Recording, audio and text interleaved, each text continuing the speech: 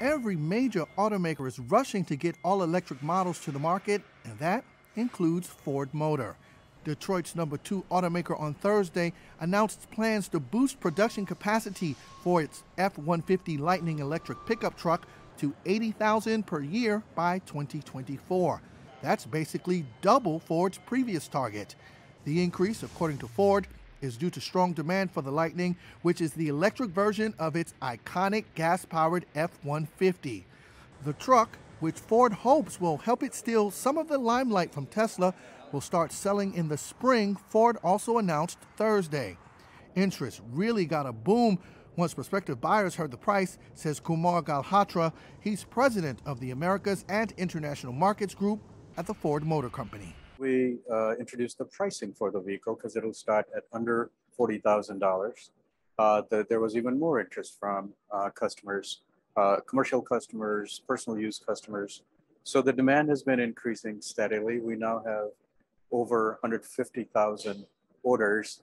So as the demand was growing, we were also breaking constraints. In order to keep up, Ford is investing $250 million and adding 450 hourly jobs across three of its facilities in Michigan.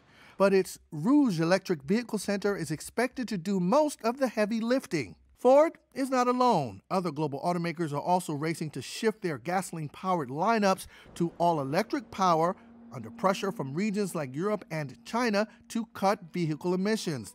The U.S. has also issued guidelines to move the industry away from gas powered engines blamed for contributing to global warming.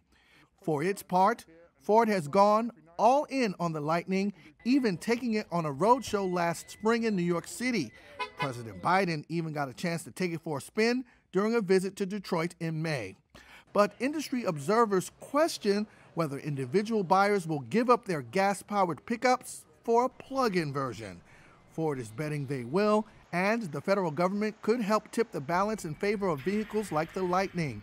Congress is currently debating whether to expand tax credits for electric vehicles, including offering an extra $4,500 to EVs such as the Lightning that are made in the United States with union labor.